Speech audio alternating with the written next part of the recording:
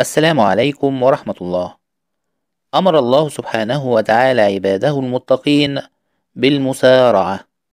وسارعوا إلى مغفرة من ربكم وجنة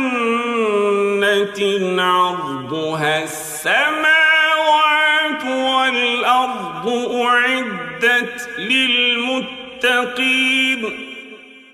ودلهم على الطريق. الذين ينفقون في السراء والضراء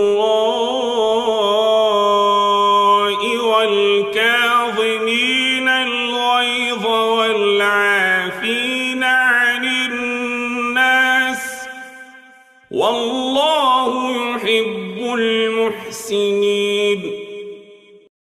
والذين إذا فعلوا فاحشة أو ظلموا أنفسهم ذكروا الله فاستغفروا لذنوبهم.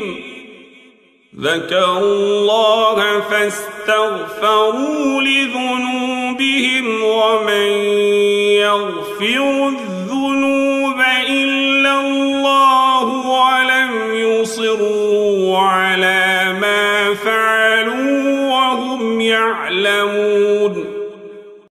فلما سارعوا وسلكوه كافأهم الله عز وجل وفازوا فوزا عظيما. أولئك جزاؤهم مغفرة من ربهم وجنات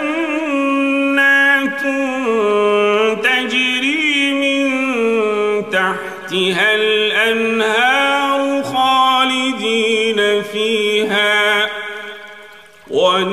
ونعم أجر العاملين. أولئك جزاؤهم مغفرة من ربهم. أولئك المتقين الموصوفين بتلك الصفات العظيمة. جزاؤهم مغفرة عظيمة من ربهم. تستر ذنوبهم وتمسح خطاياهم. ولاحظ معي أخي الكريم لعلو منزلتهم وسمو مكانتهم. استخدم الله عز وجل اسم الإشارة أولئك. وجنات تجري من تحتها الأنهار. ولهم جنات عظيمة ليست كجنات الدنيا. فيها ما لا عين رأت ولا أذن سمعت. ولا خطر على قلب بشر فيها أشجار مثمرة وقصور بديعة ليست كأشجار وقصور الدنيا.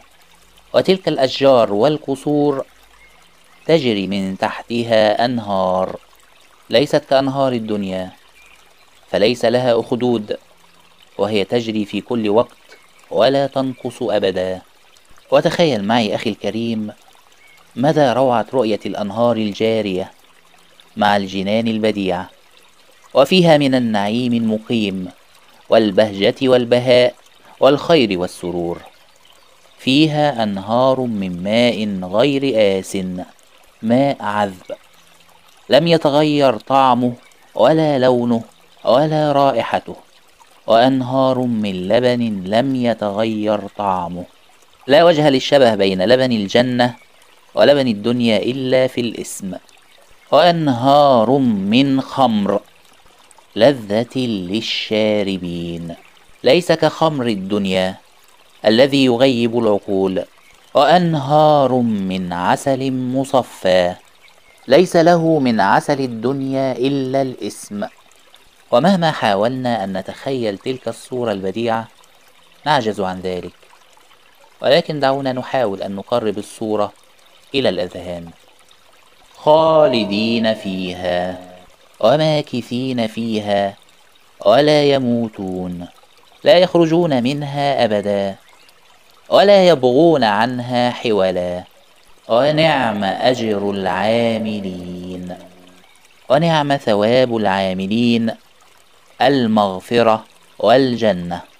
ورغم أن الله عز وجل في غنى عنا وعن أعمالنا إلا أنه قد تفضل علينا أولا وآخرا بذلك الأجر العظيم الذي لا يتناسب مع أعمالنا. فسارعوا. أولئك جزاؤهم مغفرة من ربهم وجنات